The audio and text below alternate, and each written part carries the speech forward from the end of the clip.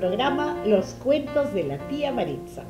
Yo soy Maritza Vale Tejeda y el día de hoy quiero compartir un cuento muy, muy, muy especial con ustedes porque este cuento nace, lo escribo, un día en que mis dos hijitos estaban pequeños y querían que yo les compre unas bicicletas unas bicicletas que yo no les podía comprar. Y cuando les dije que no se las podía comprar, ellos se pusieron muy tristes. Y conversando con ellos, explicándoles la situación, nació este cuento. Así brotó en ese momento dentro de la conversación con mis pequeños hijos. Este cuento se llama el rey triste.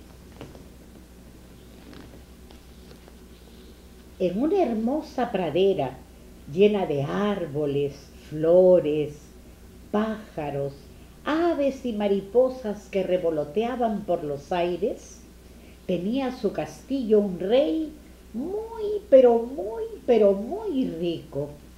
Sus propiedades eran incontables Tenía campos, castillos, joyas, todo tipo de bienes. Sin embargo, se sentía triste y aburrido. Una tarde en que el aburrimiento y la tristeza casi lo tenían desesperado, llamó a todos los sabios del reino y les ordenó buscar una solución para su problema prometió regalarle la mitad de todas sus riquezas a aquel que pudiera darle la felicidad. Uno de los sabios dijo, lo que su majestad necesita es un cuarto lleno de oro. No hay felicidad más grande que saberse el rey más rico del mundo.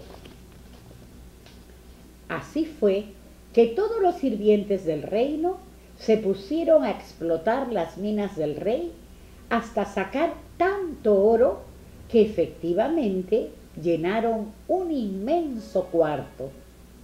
Pero una vez que estuvo terminado, el rey se sentía igual o peor que antes. El segundo sabio, muy solemne, expresó su opinión. Lo que haría feliz al rey sería hacer un largo viaje, conocer todo el mundo. Así se sentirá dichoso. El rey, con toda su comitiva, partió de viaje a conocer los lugares más hermosos del planeta. Viajó y viajó, conoció y conoció. Pero después de un año de tanto viajar, regresó a su castillo triste y deprimido como siempre.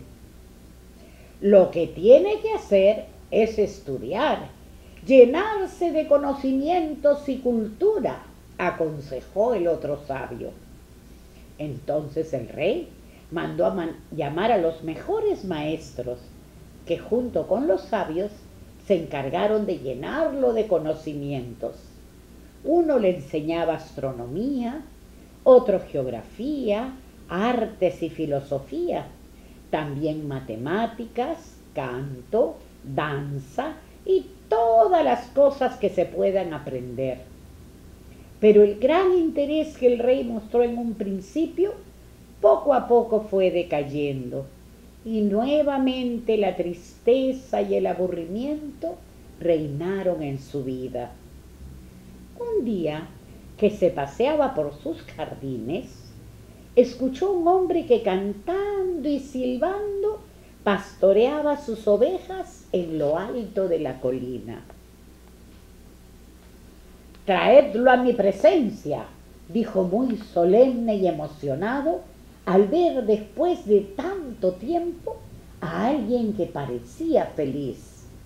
Inmediatamente fueron a traerlo pero el buen hombre se negó a ir diciendo, si el rey quiere ser feliz, él tiene que venir a donde yo estoy.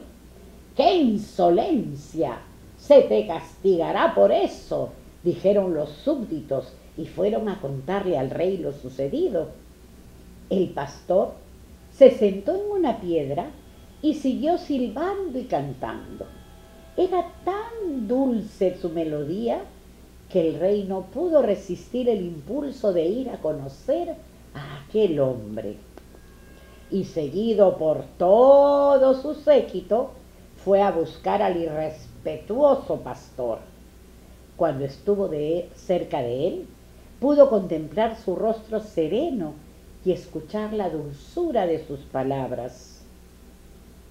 Tú que posees inmensas riquezas, tú que has viajado por el mundo y has escuchado todas las ciencias, tú que te sientes rico y poderoso, no sabes ser feliz. Enséñame tú, le dijo el rey, ¿cómo puedes cantar y sonreír si eres pobre y no posees más que lo que tienes puesto? Si tú me enseñas a ser feliz, yo te regalaré la mitad de todo lo que poseo. Nada de lo que tú me ofreces da felicidad, contestó el pastor. Además, yo ya tengo todo eso y mucho más, porque las cosas son de quienes las saben apreciar. Yo tengo el cielo, el sol, las estrellas, los prados y los campos. Todo es mío, porque cada día los miro, los aprecio y doy gracias a Dios por haberme dado la vida. Todo lo que me rodea es mío porque yo lo amo. En cambio tú, que vives rodeado de la opulencia, nada tienes, porque eres tan egoísta que solo piensas en ti mismo.